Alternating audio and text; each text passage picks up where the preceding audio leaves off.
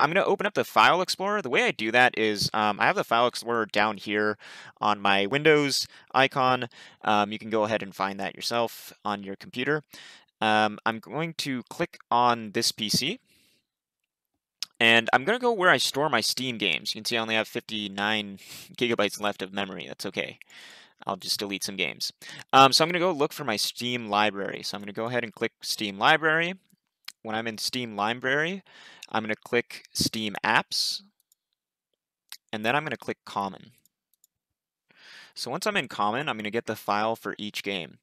Um, the thing is with this game is that it was released in the time when people used to uh, not only download games on from Steam, but they used to download games from discs. So when you had the disk, you had the option to download the software development kit, which is an SDK, and it's a little more difficult when you get this off of Steam. So this specific tutorial is for Steam users. So we're going to go ahead and click uh, Brothers in Arms Hell's Highway. And we are going to click on binaries. So in binaries, you're going to see something that says BIAHH. It's an executable file. It should say application and should be 24 something kilobytes. So what I'm going to do is I'm going to right click this and I'm going to click create shortcut. So I'm going to click that button and it's going to create a shortcut. I'm going to take this shortcut and drag it out to the desktop and I can go ahead and click that away. So what you want to do is you want to right click this shortcut and rename it. And you can leave BIA uh, HH, Hell's Highway. And we're going to remove the word shortcut and we're going to type in editor in all caps. Editor, like that. And we're going to click away to solidify that. And what we're going to do from here is we are going to go to properties.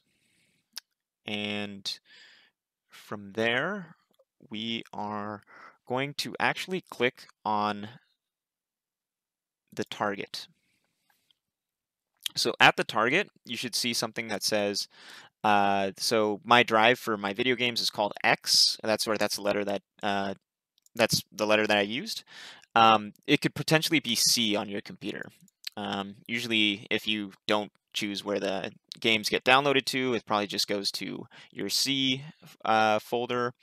Um, and it's going to say Brothers in Arms Hell's Highway, binaries, um, biahh.exe, just like this, and there'll be these two quotation marks.